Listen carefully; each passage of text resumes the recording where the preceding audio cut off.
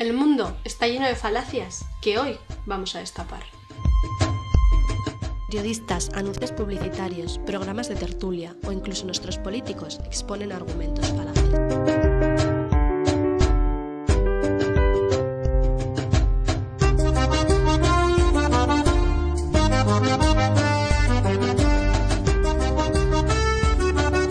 Pues Jordi, nos tenemos que remontar a hace siete años cuando el juez Ferrín Calamita saltó a la fama, cuando se encontró con, en su juzgado de Murcia con una solicitud de adopción de una niña por parte de una pareja de lesbianas. Vanessa y Susana estaban casadas y querían que la hija biológica de Susana eh, constase también como hija de Vanessa.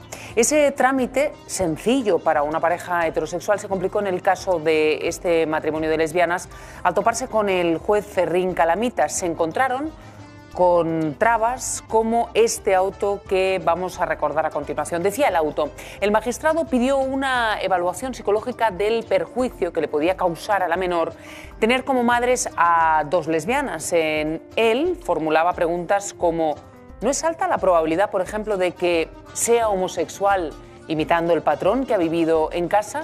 ¿No es un derecho del menor el ser insertado en una familia normal compuesta por dos personas de distinto sexo?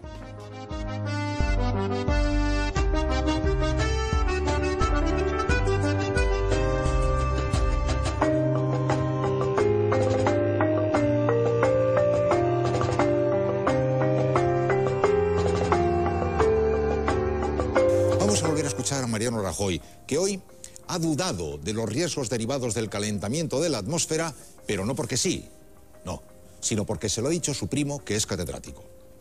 Voy a hablar de un primo mío, eh, que es eh, catedrático de física en la Universidad de Sevilla. Y entonces, preguntado sobre este asunto, dijo, oiga, he traído aquí a diez de los más importantes científicos del mundo.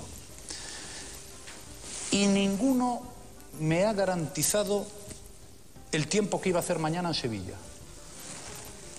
¿Cómo alguien puede decir lo que va a pasar en el mundo dentro de 300 años? No lo sé.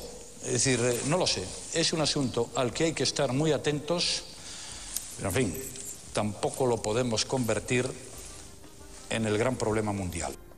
En fin, nosotros no podemos discutir una argumentación así avalada por el primo de Rajoy, pero aunque no tengan el nivel de su primo, Rajoy debería considerar a sí mismo el punto de vista de los 2.500 miembros del panel de la ONU que en febrero de este año presentaron un informe en París y lanzaron...